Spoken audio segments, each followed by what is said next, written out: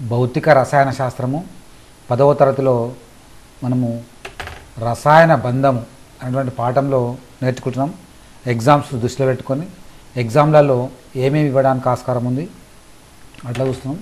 దాంట్లో మనకి ఇంతకుముందు ఎల్ వెలెన్స్ ఎలక్ట్రాన్ సిద్ధాంతంలో ఉన్నటువంటి అయానిక బంధము అందులో ఉన్నటువంటి ఎగ్జాంపుల్స్ సంయోజనీయ బంధము అందులో ఉన్నటువంటి ఎగ్జాంపుల్స్ అన్నీ కూడా డిస్కషన్ చేసాం ఇందులో మనం సంయోజన బంధం నేర్చుకుంటే ఇవన్నీ నేర్చుకోవాలి. అయానిక బంధం నేర్చుకుంటే ఇవన్నీ నేర్చుకోవాలి. నేర్చుకుంటే మనకు ఎగ్జామ్లు ఏది ఇచ్చినా కూడా ఎగ్జామ్స్ రాయడానికి ఆస్కారం ఉంటుంది. అట్లనే ఇందులో ఉన్నటువంటి లోపాలను సవరిస్తూ మనకు విఎస్ఈ పార్టీ సిద్ధాంతం వచ్చింది.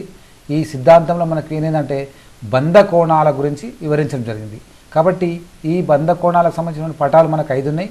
ఐదుటికి ఐదు మనం నేర్చుకుంటే మనకు ఎగ్జామ్లు ఏది ఇచ్చినా కూడా రాయడానికి ఆస్కారం ఉంటుంది. ఇప్పుడు నెక్స్ట్ టాపిక్ ఏంటంటే వెలెన్సీ బంధ సిద్ధాంతము ఆర్బిటాల అతిపాతము. మనకు ఆర్బిటాల్ ఉన్నప్పుడు మనకు తెలుసు?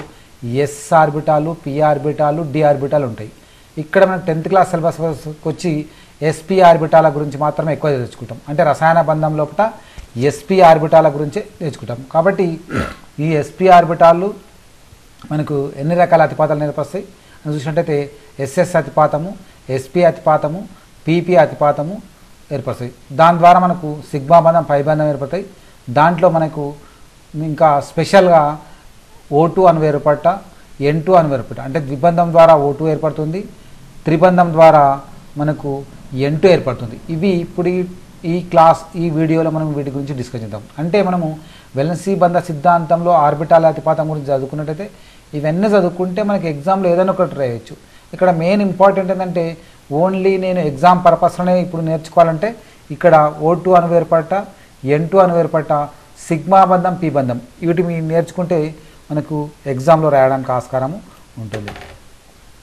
మనకు వెలన్సీ బంధ సిద్ధాంతం అంటే ఆర్బిటాల్ల అతిపాతం వల్ల ఏర్పడే బంధం అని మనం హెడ్డింగ్ పెట్టుకోవచ్చు. మన బుక్లో అట్లా లేదని మనం ఏంటంటే దీన్ని ఈజీగా అవగాహన చేసుకోవడానికి ఆర్బిటాల్ల అతిపాతము అనేటువంటిది పెట్టుకుంటే మనకు బాగుంటుంది.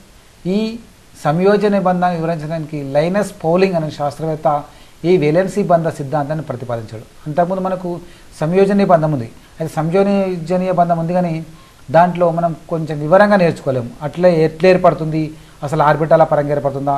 ఎట్లా ఏర్పడుతున్నటువంటిది మనం అక్కడ డిస్కస్ చేయలేము. కానీ ఇక్కడ ఈ లైనస్ పౌలింగ్ అనే శాస్త్రవేత్త ఈ సంయోజన బంధాన్ని ఇంకా ఎక్కువ వివరించడానికి మనం చెప్పడం జరిగింది. ఇక్కడ ఆర్బిటాల అతిపాతం అంటే మనకు మూడు ఉంటాయి. ఎస్ఎస్ అతిపాతము ఎస్పి అతిపాతము పీపీ అతిపాతము. ఇక్కడ ఎస్ఎస్ అతిపాతం ఎట్లా ఏర్పడుతుంది అంటే రెండు ఎస్ఆర్ రెండు ఎస్ ఆర్బిటాలు అతిపాతం వలన మనకు ఏర్పడుతుంది. ఎగ్జాంపుల్ హైడ్రోజన్లో రెండు ఎస్ ఆర్బిటాలు ఉంటాయి కాబట్టి అది మనం ఎగ్జాంపుల్ తీసుకోవచ్చు. అటనే ఎస్పి అతిపాతం అంటే ఒక ఎస్ ఆర్బిటాలు ఇంకొక పిఆర్బిటల్ అతిపాతం వలన మనకు ఎస్పి అతిపాతం ఏర్పడుతుంది. దానికి ఎగ్జాంపుల్ హెచ్సిఎల్ అంటే హైడ్రోజన్లో ఎస్ ఆర్బిటాల్ ఉంటుంది క్లోరిన్లో పి ఆర్బిటల్ కాబట్టి ఈ అణువు లోపల మనకు ఎస్పి అతిపాతం ఏర్పడడానికి అనువుగా ఉంటుంది. హైడ్రోజన్ ఏమో ఎస్ఎస్ అతిపాతం ఏర్పడడానికి అనువుగా ఉంటుంది. నెక్స్ట్ పీపీ అతిపాతం. అంటే రెండు పి ఆర్బిటాళ్ళు అతిపాతం వలన మనకు ఈ పీపీ అతిపాతం అనేటువంటిది ఏర్పడుతుంది. దానికి ఎగ్జాంపుల్ మనకు క్లోరిన్ తీసుకోవచ్చు. ఇవి అంటే ఎస్ఎస్ అతిపాతము ఎస్పి అతిపాతము పీపీ అతిపాతము. ఇవి మనకు వచ్చిన తర్వాత మనకి ఏంటంటే ఈ ఎగ్జాంపుల్స్ కూడా రావాలి. నెక్స్ట్ ఏంటంటే సిగ్మా బంధం సిగ్మా బంధము అంటే ఏంటంటే పరమాణువులోని ఆర్బిటాల అంత్యాతిపాతం వలన సిగ్మా బంధం ఏర్పడుతుంది. ఇక్కడ ఈ పదం గుర్తుపెట్టుకోలేదు అంత్యాతిపాతము. అంత్య అతిపాతం వలన మనకు సిగ్మా బంధం ఏర్పడుతుంది. అంత్య అంటే ఏంటంటే దగ్గర దగ్గర. ఇప్పుడు మనం ఒకరికి షేక్ హ్యాండ్ ఇస్తాం. షేక్ హ్యాండ్ ఇస్తే హ్యాండ్ హ్యాండే కలుపుతాం. కాబట్టి అట్లా షేక్ హ్యాండ్ ఇచ్చింది గుర్తుపెట్టుకుంటే అంత్యాతిపాతము. అటువంటి దాన్ని మనం ఏమంటామంటే సిగ్మా బంధం అంటాం. అంటే అంత్యాతిపాతం వలన అంటే పరమాణువులోని ఆర్బిటాళ్ళు అంత్యాతిపాతం వలన మనకు సిగ్మా బంధం అనేటువంటిది ఏర్పడుతుంది. ఇది ఎస్ఎస్ ఆర్బిటాలు అంత్యాతిపాతం చెందుతాయి కాబట్టి అక్కడ మనకు సిగ్మా బంధం ఏర్పడుతుంది. పిఆర్బిటాలు కూడా మనకు అంత్యాతిపాతం చెందుతాయి కాబట్టి అక్కడ కూడా మనకు ఈ సిగ్మా బంధము ఏర్పడుతుంది. ఇక దీన్ని చూసినట్టయితే సిగ్మా బంధం అనేటువంటిది ఇది స్వతంత్రంగా ఏర్పడుతుంది. ఇది ఇంకో దాని డిపెండ్ కాదు. ఇది ఇంకేందంటే బలమైనటువంటి బంధం. మనకు ఇక్కడ పైబంధం వచ్చినప్పుడు ఇది బలమైనటువంటి బంధం. ఈ మూడు పాయింట్స్ సిగ్మా బంధం అంటే ఏంది? ఇది స్వతంత్రమైనది ఇది బలమైనది. నెక్స్ట్ ఇంకా పైబంధం చూసినట్టయితే పరమాణువులోని ఆర్బిటాల పార్శ్వాతిపాతం వలన మనకు పైబంధం ఏర్పడుతుంది. పార్శ్వాతిపాతం అంటే దూరంకి వెళ్ళి ఫస్ట్ మనము ఒక షేక్ హ్యాండ్ ఇచ్చినాం అది అంతే అతిపదం ఇంకొక షేక్ హ్యాండ్ ఇవ్వాలంటే ఆ మధ్యలో ఒక వ్యక్తి పెట్టి ఇంకొకరికి ఇవ్వాలనుకోండి అప్పుడు దూరంకి ఏర్పడదు ఏర్పడుతుంది. అంటే అట్లా దూరంకెళ్ళి వెళ్ళి ఏర్పడ్డ దాన్ని పార్శ్వాతిపాతం అంటారు దగ్గరికి వెళ్ళి దాన్ని సిగ్మా బంధం అంటారు అంతే అతిపా అంత్య సిగ్మాబంధము సిగ్మా బంధము పార్శ్వాతిపాతమేమో పై బంధము ఇట్లా మనకు పరమాణువులోని ఆర్బిటాలు పార్శ్వ అతిపాతం వలన మనకు ఈ పై బంధము ఏర్పడుతుంది. ఇది స్వతంత్రంగా ఏర్పడలేదు. ఇది ఏర్పడాలంటే ఇక్కడ కండిషన్ ఏంటంటే సిగ్మాబంధం ఏర్పడాలి. సిగ్మా బంధం ఏర్పడిన తర్వాతనే మనకు ఈ పై బంధం ఏర్పడుతుంది. ఇది బలహీన బంధం అంటే ఇది బలమైన బంధము ఇది బలహీన బంధం దీనిని ఎగ్జామ్లో మనకు ఎగ్జామ్లో ఏ విధంగా ఇస్తారన్నటువంటిది ఇచ్చినప్పుడు మనకు ఒక మార్కులో ఈ విధంగా ఇవ్వచ్చు ఒక్కొక్కసారి ఇటువంటి ఏమి అంటే మనకు డిఫరెన్సెస్ అడుగుతాడు. డిఫరెన్సెస్ అడిగినప్పుడు దీన్నే మనము పేపర్లో ఇట్లా మధ్యలో గీత కొట్టుకోవాలి. ఒక దిక్కు సిగ్మా బంధము ఇంకొక దిక్కు పై బంధం పెట్టి అక్కడ ఉన్నటువంటి పాయింట్స్ని ఇక్కడ రాస్తే మనకు అయిపోతుంది. ఇట్లేంది? ఫస్ట్ పరమాణువులోని ఆర్బిటాలు అంత్య అతిపాతం వలన సిగ్మా బంధం ఏర్పడుతుంది. ఇక్కడ ఏమో సేమ్ ఫస్ట్ పాయింట్ పరమాణువులోని ఆర్బిటాల పార్శ్వ అతిపాతం వలన పై బంధము ఏర్పడుతుంది. ఫస్ట్ పాయింట్ అన్లైన్లో రాసాం దాని నిర్వచనం రాసాము దీని నిర్వచనం సెకండ్ పాయింట్ ఏంటంటే ఇది స్వతంత్రంగా ఏర్పడుతుంది. ఇది స్వతంత్రంగా ఏర్పడలేదు. అసలు పై బంధం ఏర్పడాలంటే ఆల్రెడీ సిగ్మా బంధం ఏర్పడి ఉండాలి. అది అయిన తర్వాతనే ఇది ఏర్పడుతుంది. ఇది బలమైన బంధం ఇది దగ్గరికి వెళ్ళి ఉంటుంది కాబట్టి బలమైన బంధము ఇది బలహీన బంధం దీంతో కంపేర్ చేసుకుంటే ఇది బలహీనమైనటువంటి బంధము. కాబట్టి మనకు ఈ టాపిక్లో సిగ్మా బంధం పైబంధం మధ్య భేదాలు అడగొచ్చు లేకుంటే ఒక్కొక్క దాన్ని అడగొచ్చు. అడిగినప్పుడు మనం ఇంతవరకు రాస్తే సరిపో నెక్స్ట్ మనకు బెలెన్సీ బంధ సిద్ధాంతం లోపలనే ఆక్సిజన్ అణువు ఏర్పడుట లేదా దీన్ని మనం ఏమంటామంటే ద్విబంధము ద్వారా ఆక్సిజన్ అణువు ఏర్పడట ఇట్లా క్వశ్చన్ ఎట్లా మార్చిచ్చినా కూడా గివ్వే పాయింట్స్ ఇదే పటము ఇదే పాయింట్స్ మనం రాసుకుంటే అయిపోతుంది. హెడ్డింగ్ ఏమడగొచ్చు ఆక్సిజన్లో ద్విబంధం ఏ విధంగా ఏర్పడుతుంది వివరించమనొచ్చు. లేదా ఆక్సిజన్ అణువు ఏర్పడట అనుగుణంగా ఇవ్వచ్చు ఇక్కడ మనకు దీన్ని వివరంగా నేర్చుకోవాలంటే ఫస్ట్ ఈ రసాయన బంధంలో మనం ఫస్ట్ ఏది ఇచ్చినా కూడా ఏ అణువు ఇచ్చినా ఏ బంధం ఇచ్చినా కూడా అందులో ఉన్నటువంటి పరమాణువులను గుర్తించాలి. పరమాణువు గుర్తించి పరమాణు సంఖ్యను రావాలి మనకు. పరమాణు సంఖ్య ఇచ్చిన తర్వాత దాని యొక్క ఎలక్ట్రాన్ విన్యాసము రాయడం రావాలి. వస్తే దాని నుంచి మనకు అర్థమవుతుంది మూమెంట్ అనేటువంటిది కిందికి పోతుంది. ఇప్పుడు అదే నేను ఫస్ట్ పాయింట్ రాశాను చూడండి. ఆక్సిజన్ పరమాణు సంఖ్య ఎనిమిది. దాని ఎలక్ట్రాన్ విన్యాసం one S two two S two two P four ఇది రాసినాం. ఇది జనరల్గా మనం రాసాం. ఇప్పుడు దీన్ని ఇంకొంచెము మనము ఆర్బిటాలలో పి ఇచ్చినట్టయితే పిలో మూడు ఉంటాయి. పిఎక్స్ ఆర్బిటాలు పివై ఆర్బిటాలు పిజెడ్ ఆర్బిటాలు. కాబట్టి నేను దాన్ని ఇంకా విపులంగా రాశాను. One S two two S two అట్లనే ఉంది. ఈ టూ పీ ఫోర్ ఏం రాసిన అంటే two P X two two P Y one two P ఇది హుండు నియమం ప్రకారం ఒకటొకటి ఉండాలి ఆ తర్వాత ఇలా జత కాబట్టి ఇది రాసుకున్నాం ఇప్పుడు ఈ పాయింట్ రాస్తే ఫస్ట్ పాయింట్ రాస్తే సెకండ్ పాయింట్ ఆటోమేటిక్ మనకు వచ్చేస్తుంది. దీన్ని బట్టి ఇది రాస్తున్నాం oxygen పరమాణువులో two P Y two P జెడులలో ఒంటరి ఎలక్ట్రాన్లు ఉన్నాయి. ఇక్కడ చూసినట్టయితే ఇందులో జంట ఉంది ఇవన్నిట్లో జంట ఉంది. కానీ టూ పీ వైలో ఒక ఎలక్ట్రాన్ ఉంది టూ పీ జెడ్లో ఒక ఎలక్ట్రాన్. కాబట్టి ఈ రెండిట్లలో మనకి ఏముంది ఒంటరి ఎలక్ట్రాన్లు ఉన్నాయి. ఇది రాస్తే ఈ రెండో పాయింట్ మనకు వచ్చేస్తుంది. ఆక్సిజన్ పరమాణువులో టూ పీ వై టూ జడులలో ఒంటరి ఎలక్ట్రాన్లు ఉన్నాయి. నెక్స్ట్ మూడోది ఏంది? ఇప్పుడు దీన్ని బట్టి ఈ పాయింట్ రాస్తున్నాం.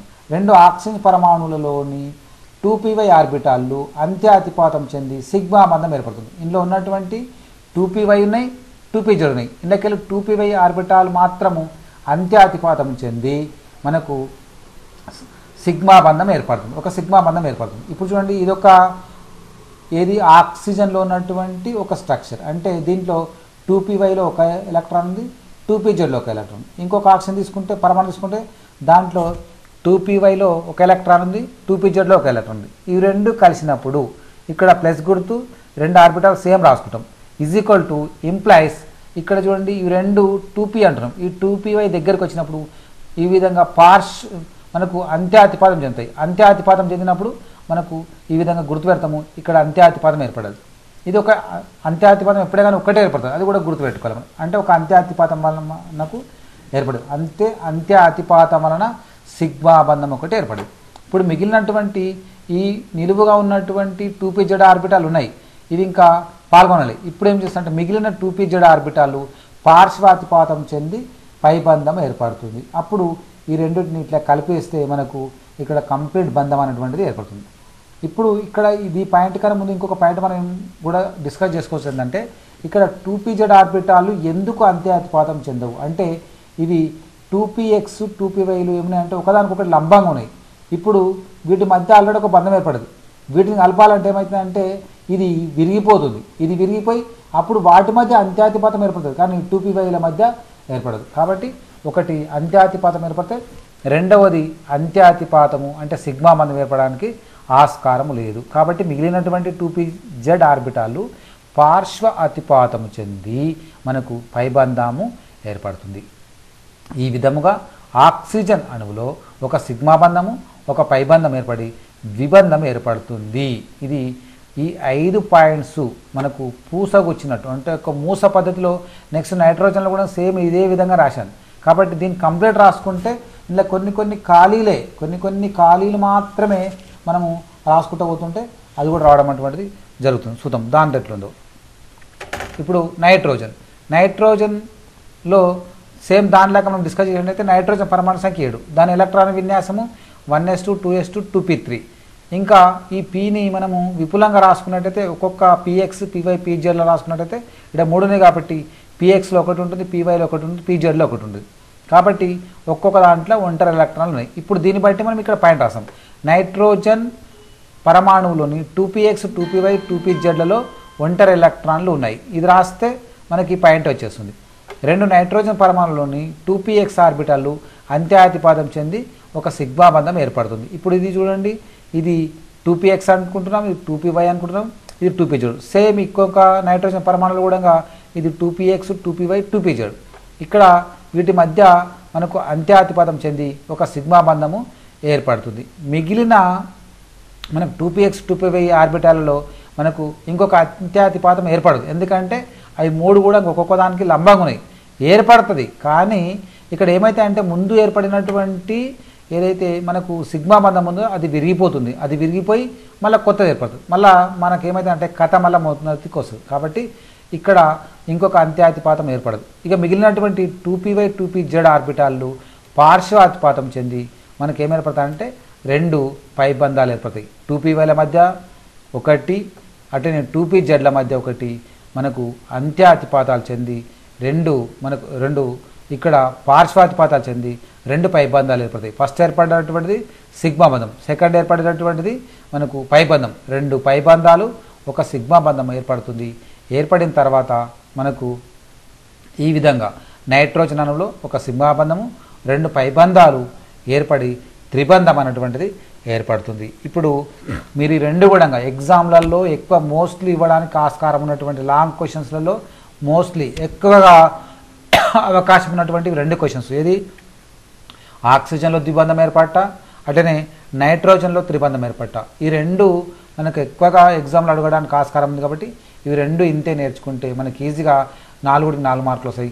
ఈ పటం ఒకసారి అడిగిండు. కాబట్టి పటం వేస్తే రెండు మార్కులు వస్తాయి. అట్లనే ఇక్కడ మనకు ఈ పాయింట్ను దృష్టిలో పెట్టుకొని ఎన్ని సిగ్మా బంధాలు ఏర్పడతాయి ఎన్ని పై బంధాలు ఏర్పడతాయి ఆ విధంగా కూడా అడగవచ్చు కాబట్టి ఎన్ని సిగ్మా బంధాలు ఎన్ని పైబంధాలు అంటే ఎప్పుడు కూడా సిగ్మా బంధం ఒకటే ఉంటుంది. పై బంధాలు రెండు ఉంటాయి. అట్లనే ఆక్సిజన్ చూసినట్టయితే ఒక సిగ్మా బంధము ఒక పై బంధం ఉంది. ఈ పటం కూడా మనకు ఇంతకుముందు ఎగ్జామ్లలో అడిగిండు.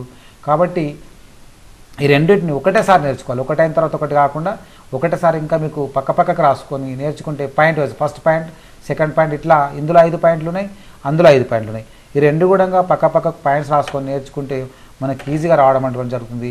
ఇది ఎగ్జామ్లలో అంటే లాస్ట్కు పాస్ అయినటువంటి విద్యార్థులు కూడా ఈ క్వశ్చన్ ఈ విధంగా నేర్చుకుంటే దీంట్లో ఏ క్వశ్చన్ ఇచ్చినా కూడా అంటే వన్ మార్క్ ఇచ్చినా టూ మార్క్స్ ఇచ్చినా కూడా మనము దాన్ని రాయొచ్చు. ఒకవేళ లక్కీలో మనకు ఫోర్ మార్క్స్ కడిగితే ఈజీగా ఫోర్ మార్క్స్ రావడం అటువంటిది జరుగుతుంది. అయితే మనకు ఈ డీసీబీ వాళ్ళు ఇచ్చినటువంటి మనకు క్వశ్చన్ పేపర్స్ ఉన్నది దాంట్లో చూసినట్టయితే మరి ఇప్పుడు మనం చెప్పుకున్న టాపిక్లో మనకి ఏమి ఇచ్చిందో చూద్దాం ఒకసారి. ఏమి ఇచ్చిందంటే నీటి ఇక్కడ ఉంది మనకు. ఇగో నైట్రోజన్ అణువు ఆకృతిని గీయండి. నైట్రోజన్ అణువు ఆకృతి అంటే అది మనం అది గీయొచ్చు దాని తర్వాత వివరించవచ్చు. ఇక్కడ ఇక్కడ అడిగండి ఇగో.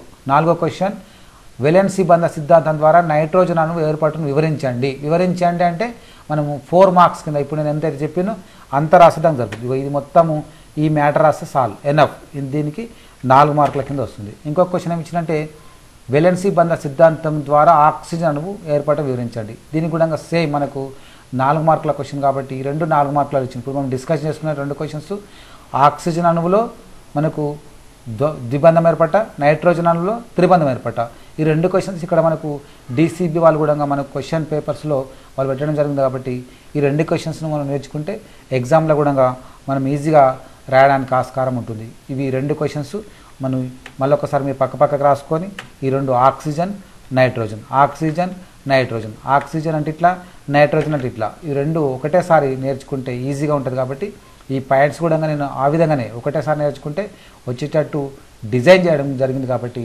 మీరు నేర్చుకోండి. ఈ డీసీబీ వాళ్ళు ఇచ్చినటువంటి క్వశ్చన్ పేపర్లు కూడా మనకు ఉంది కాబట్టి నేర్చుకుంటే మనం ఈజీగా మనకు టెన్త్ క్లాస్లో యాన్యువల్ ఎగ్జామ్లో మనం ఎగ్జామ్లో క్వశ్చన్ ఈ క్వశ్చన్ వస్తే ఇది రాయొచ్చు. అట్లనే మనకు ఇంకేమైనా కాంపిటేటివ్ ఎగ్జామ్స్ అన్నప్పుడు కూడా మనకు దాంట్లో చిన్న చిన్న అడిగినప్పుడు కూడా రాయడానికి ఆస్కారం ఉంటుంది. విద్యార్థులు ఈ వీడియో చూసినట్టయితే విద్యార్థులు మీ ఫ్రెండ్స్కు షేర్ చేయండి. అట్లనే సబ్స్క్రైబ్ చేయండి. ఉపాధ్యాయులు ఈ క్వశ్చన్కు ఈ విధంగా ఆన్సర్ ఉంది కాబట్టి దీన్ని ఇంకా ఇంకా ఎక్కువగా ఉండాలంటే ఇంకా ఏ విధంగా ఉండాలంటే మీ ఆలోచనలు ఉంటే నాతో పాల్పంచుకోవాలని కోరుకుంటూ మరి ఈ వీడియోను అందరు చూసి అందరు విద్యార్థులు టెన్త్ క్లాస్ విద్యార్థులు పాస్ అవ్వాలని కోరుకుంటున్నాను